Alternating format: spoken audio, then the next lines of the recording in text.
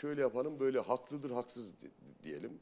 Ee, bu 21. yüzyılda bir şekilde ulus olarak tarih sahnesine çıktılar. Şimdi bu Kürtler Türkiye'de, Irak'ta, Suriye'de, İran'da nasıl yaşayacaklar? 20. yüzyılda kolaydı yani işte e, milletlerin e, kendi kaderini tayin hakkı filan. Yani. Şimdi tek seçenek o mudur değil midir? Adamlar diyorlar ki hayır biz böyle başladık ama biz şimdi ayrılmak falan istemiyoruz. O halde yani bunlar grup hakları ile beraber Türkiye'de birlikte nasıl yaşanacak? Nasıl ortaklık olunacak yani? Gelin bunu konuşalım diyorlar. Bu ya bunu onların demesine gerek yok ki. Bunu konuş bunu konuşmak gerekiyor. Başbakan buna benzer iradeler geçmişte bazı şeyler yaptı. Onun için ben yine diyorum ki bu Sayın Erdoğan yine bir şeyler yapacak. Yapması gerek. Geçmişte yaptı. Şu anda Şayet yapmazsa. şu anda istenen şeyler, geçmişte konuşulanların çok çok altında şeyler istenen şey olarak. Çok çok basit bir şekilde yani bu birlikte yani dünyayı biz burada oturup yeniden keşfedecek değiliz. Evet, yani şey bunun soracağım. örnekleri mevcut. Siz bir hakikaten başbakanı tanıyan bir insansınız. Yani şahsen de iyi tanıyan bir insansınız. İki, yakın çevresini yani onu danışmanı diyeceğimiz kadroları yani geldiğiniz siyaset itibarıyla bu insanları hakikaten belki yıllardan beri tanıyorsunuz. Bu hani çeşitli e, mahfillerde dillendiriliyor. Yani doğru bilginin verilmediği e, başbakana, doğru şekilde brief edilmedi. İşte Suriye meselesinde gözüküyor. E, bugün mesela bir haber var Türk medyasına yani ana medya en azından yansımadı ama işte Diyarbakır'da bir hastanenin bir katı tamamen boşaltıldı.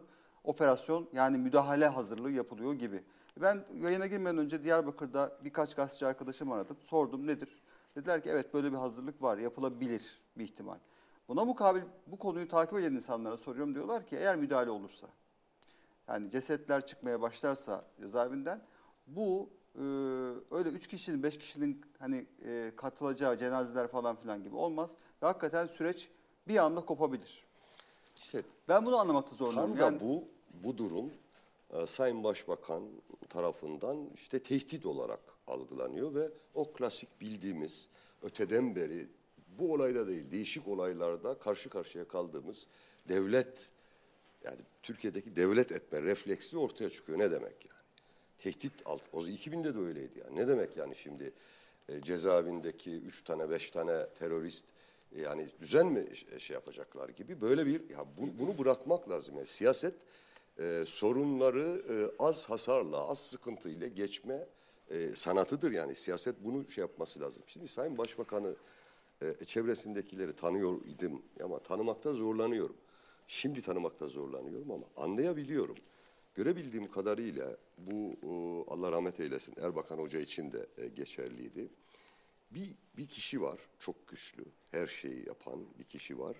İkinci, üçüncü, dördüncü, beşinci, onuncu hatta on dokuzuncu yok. Yirminciden belki başlıyor. Sayın Başbakan'a kimse e, gerçekleri olduğu gibi, düşündüğü gibi takdim etmiyor.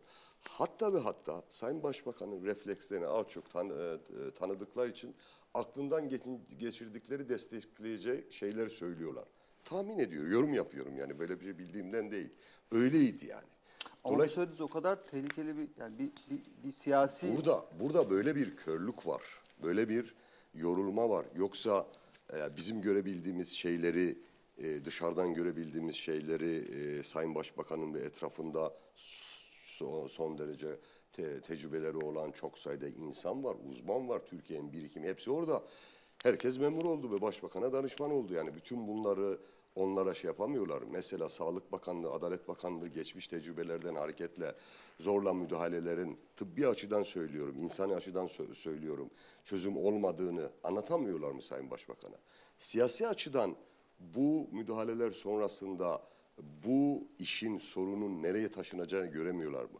Ve en önemlisi Türkler ve Kürtlerin ilişkisi nereye gidiyor? Bunları görmüyorlar. Bakın dünya kadar olay oldu geçmişte. Köy boşaltmalar, faili meşhur, dışkı yedirmeler, Diyarbakır cezaevi işkenceleri filan. Ama Türkler ve Kürtlerin bu kadar koptuğu e, zaman olmamıştı. Bakın bu şeyde başladı ciddi bir şekilde Uludere'de. Yani oradaki bir kadının Ümit Kıvanç'ın yaptığı şeyde belgeselde Belgeselde. çok net. Ya biz fakir fakiriz diyor. ya. Devlet fakirlerini öldürür mü? Bu çok önemli bir cümle. Devlet fakirlerini öldürür mü? Çok yaraladı. Yani sadece PKK'yı destek veren Kürtleri değil, Kürtlerin bütününü. İki Pozantı cezaevindeki tecavüz. Çocuk taş atıyor, cezaevine geliyor ve gidiyor psikopatlara takdim ediliyor o çocuklar. Yani bu bir tane olay bütün Kürtleri, herkesi e, ciddi bir şekilde yaraladı. Şimdi cezaevinde tabutların çıkması ciddi bir şekilde koparacak yani psikolojik olarak bu e, doku gidiyor, dağılıyor. Bakın 30 seneden beri şu kadar insan öldü. Bak yaşıyoruz büyük şehirlerde Türkler, Kürtler. Evet ufak tefek olaylar en son Bursa'da falan oldu ama Türkler, Kürtler birbirine girmedi. Kimse kimseyi öldürmedi. Böyle bir şey söz konusu değil. Hala evlenmeler, ortak aileler, dünya kadar şeyler var. Ama psikolojik olarak kopuyoruz. Ha, ayrılıyorsak bilmiyorum. Ayrılıyorsak da niye düşman olarak ayrılıyoruz yani? Yani kopuyoruz ve düşmanlıklar giderek büyüyor. Aynı benzer şey Türk tarafında da. Yani bir canlı organizma belli bir tehdit karşısında belli bir süre durabilir. Yoksa çözülür. Böyledir yani. Bir tehlike karşınıza geldi mi savaşmak, sıvışmak, varlığınızı korumak için gerilirsiniz. Tansiyonunuz yükselir, kaslar kaslar gelir, göz bebekleriniz açılır filan ama bu sü- sürekli böyle Bu duramazsınız. sürdürülemez diyorsunuz. Yani ya 30 savaşırsın ya senedir- sıvışırsın. Evet 30 senedir Türkiye bu burada duruyor. Böyle olamaz. Bakın artık Türk, bu iş Türk sorunu olmuştur. Türkler de artık ciddi ciddi kimse bölünmez bütünlük falan demiyor. Öyle şehitleri, askerlerini falan da şey göndermiyor. Değerler de gidiyor. Şehitlik kavramı gidiyor, vatan kavramı gidiyor, her şey gidiyor. Bu işin sonuna doğru gel- geliniyor ya. Sayın Başbakan'ın, herkesin bunu görmesi gerekiyor. Bir şey daha söyleyeyim son cümle. Bu kriz Kürt meselesinde zaman zaman böyle krizler çıkmıştır. Yeni bir kriz. Bu kriz aslında fırsata dönüştürülebilir. Bu krizin çözülmesi, bu işin halledilmesinin en temel e, sıkıntılarından biri olan güven sorununu ortadan kaldırır. Psikolojik ortamı oluşturur ve bu o, vesileyle bunu yani bu hem bu ölümleri önlersiniz hem de e, bu meselenin çözülmesi için ciddi bir e, Fırsat psikolojik ortamda e, o şey yapabilir, ortaya Evet. çıkabilir. Ben bu arada bu konu başlığı ilgili son soruyu size sorayım. O da şu. e, yani izleyicilerimiz de merak ediyor muhtemelen. Hani kritik eşik deniyor ya. Bu insanlar e, diğer açlık grevlerinden de yola çıkarak soruyorum. Bir yani bir e, tıp e, uzmanı olarak size yani bir doktor olarak, hekim olarak e, bir hafta içinde ölümler olabilir deniyor. Ama buna mukabil gene tarihten biliyoruz ki e, çok çok daha uzun yani 100 günü, 200 günü, 300 günü hatta bulan ölüm oruçları var. Açlık grevleri var. Hakikaten bu kritik eşiğe gelindi mi ve bu ne demek aslında? Yani bu tabii e, insandan insana, e, yaşa, herhangi bir hastalığın bulunup bulunmamasına, düzenli o sıvı, vitamin bunun düzenli alınıp alınamıyorsuna, alınamamasına, psikolojisine bağlı olarak insandan insana değişir bu.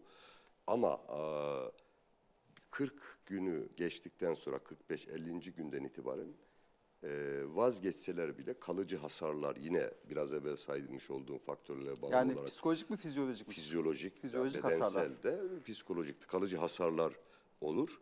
Ee, evet yani Türkiye'de 293 gün e, dünyada 400 güne yakın e, dayanmış insanlar mev- mevcut. Fakat e, bu şu demek değildir. Daha vaktimiz var anlamına gelmez. Zaten bunu düşünüyor olmak da pek Hayır, insani. yani asla aa, vakit yok. Eğer e, hani diyorlar ya bir siyasi irade bunlara karar verdi. Elbette tabii siyasi irade var yani.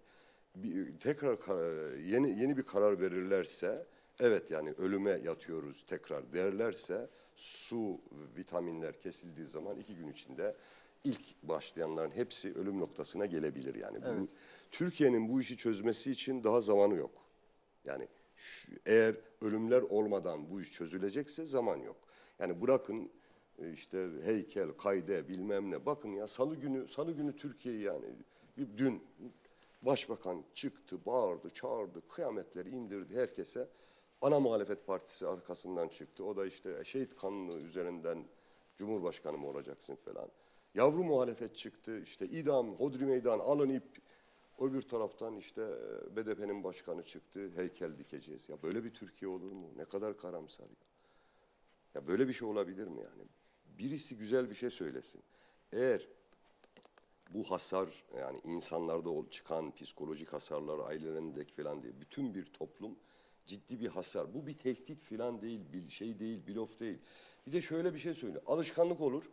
Efendim işte e, şehit aileleri de şey yatar. e, ölüm orucuna e, yatar. Efendim başkaları da talebi olan insanlar da ölüm orucuna yatar. Oda TV tutukluları da yatar. E, her ölüm orucuna yatanın dediğini ha öyle bir şey yok. Her kimse öyle bir şey yapamaz mı? Ölüm orucuna yatmak da o kadar kolay bir şey değildir yani.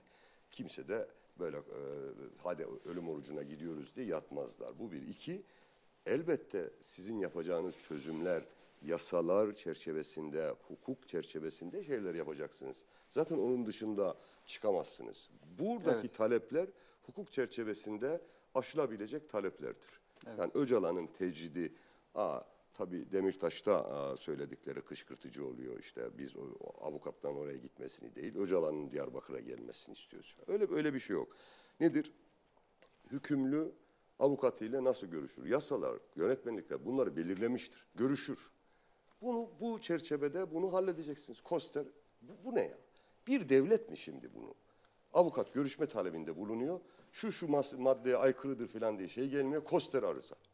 Böyle bir şey olur mu ya? 400 günden beri Koster. Böyle bir şey olur mu ya? Komik bir durumda değil miyiz yani? Koster nasıl arızalı ya? Başka bir şey kaldırın ya. Temel Reis buradan bir gemi götürsün. Ya eğer Türkiye buradan bir, kaosa girmeyecek böyle bir şey olacaksa böyle bir şey olabilir mi? Hukuk çerçevesinde e, yapılacak şeyler yapıyor. Yoksa kimse kimseden hukuksuzluk falan istemiyor. Öyle bir şey yok yani. Evet, e, bir konumuz daha var tabii, Oda TV davası ama isterseniz kısaca bir soluklanalım. Ondan sonra e, Tuğçe Tatarı ve Barış Terkoğlu'yla